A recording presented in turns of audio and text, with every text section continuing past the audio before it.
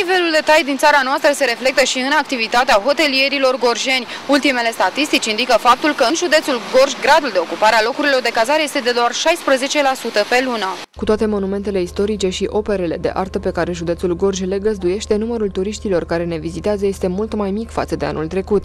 În ceea ce privește activitatea turistică și în județul uh, Gorj, această activitate se află pe un trend descrescător.